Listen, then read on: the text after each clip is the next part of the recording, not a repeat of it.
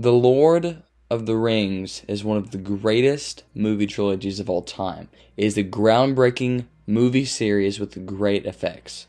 But out of all of that, there is a minor effect that is only used a couple of times in the entire series, and it is the Sting effect. Sting is the sword that Bilbo Baggins had and they ended up giving to Frodo. It is the sword that glows blue whenever an orc is near.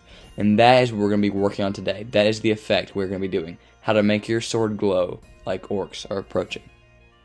Okay, the very first thing you are going to want to do is get a video of your actor holding the sword. And then we're going to go into After Effects. Okay, we are now in After Effects getting ready to start on creating this effect. Now, first, what you're going to want to do is go New Composition from Footage.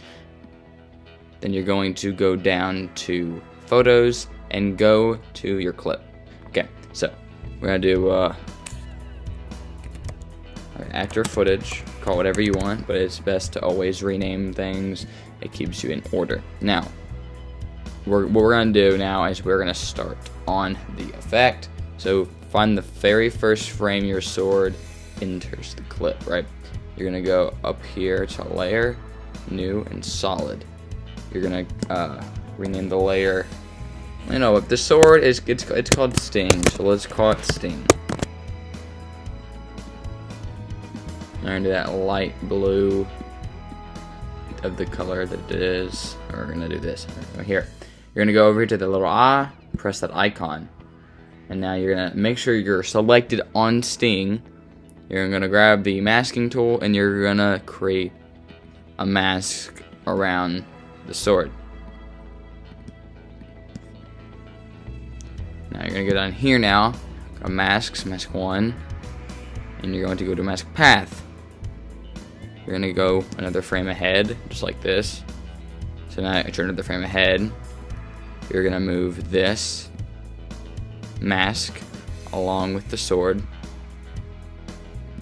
So you're gonna go here like this and go into the frame and you're gonna follow along the sword and you're gonna keep doing this until the clip is finished. So I'm gonna do a little fast forwarding so you don't have to see me do this because this does take a while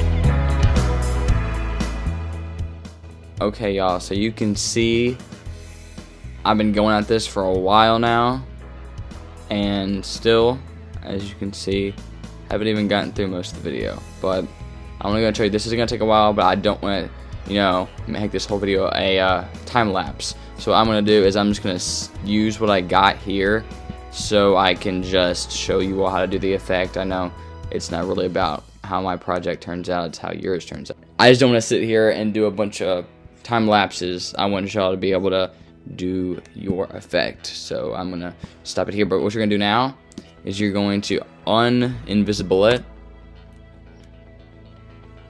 And when you play the clip, you can see that it follows. That's what the mask path is for. But what I got to do now, or what we're going to do, so the frame before that, believe we need to move it out of the way. That works. And there we go. So now, what you're going to want to do, right, obviously this is not the full effect. It's not going to look this bad. I'm telling you. okay, so we're going to do first is if we do any feathering on the masking, we may take out the sharpness of it a little bit so you can see it's, it's a little less sharp.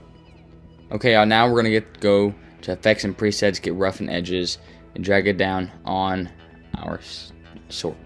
We're going to go up to roughen, and we're gonna go to photocopy.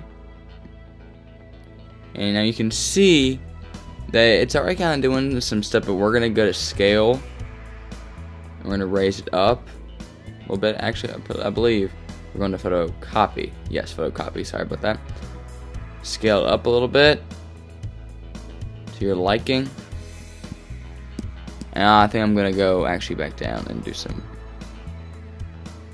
uh, do some opacity feathering stuff real quickly. Okay, there you go.